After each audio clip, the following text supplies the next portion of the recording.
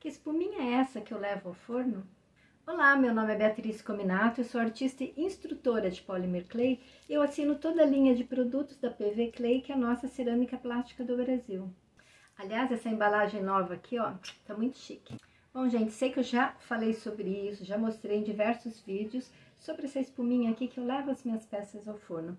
Mas ainda assim, como são informações só inseridas dentro de alguns vídeos, talvez nem todos tenham visto é, com isso, sempre me perguntam que material é esse, se é alguma espuma especial, ou mesmo se é realmente necessário utilizar.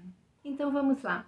Não, não é necessário. Usa se quiser. Existem diversas formas é, de levar sua cerâmica plástica ao forno. Essa é apenas uma delas.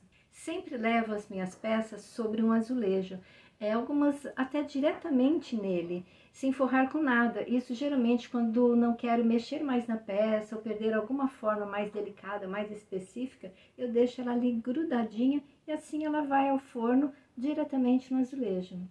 Em outras, eu coloco a peça sobre uma folha de papel que fica sobre o azulejo com a peça em cima. Mas de um bom tempo para cá, eu substituí o papel na maioria das vezes, porque ele ondulava um pouco com o calor do forno e se a peça fosse um pouco mais fina, ela pegava essa ondulação.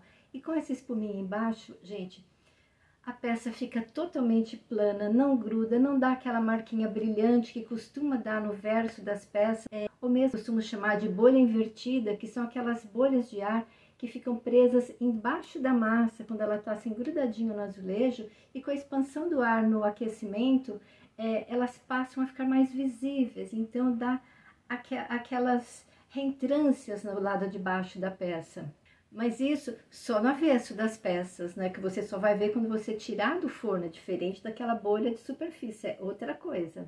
E essa espuma você quer esquenta com o calor do forno. Eu não preciso nem utilizar luvas para retirar a peça quente do forno. Basta puxar só a espuminha com cuidado para a peça não cair e pronto.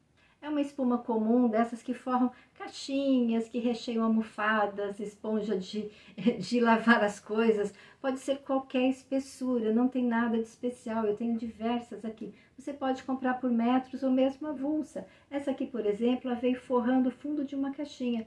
Ela tem menos de um centímetro de espessura. Eu tenho outra um pouquinho, ligeiramente mais grossa, que ela já tem 11 milímetros. Gente, isso não fará diferença. Você pode usar mais fina, mais grossa, tá?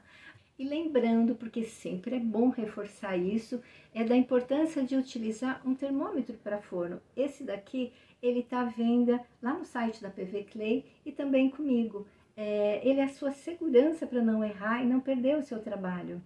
Então é isso, essa é a maneira que atualmente eu gosto mais de levar as minhas peças ao forno. Elas saem bem planas, bem limpinhas, sem marcas. É só colocar o azulejo, a espuminha, a peça aqui em cima, o termômetro e vai assim ao forno. Então é isso. Beijinho, tchau, tchau.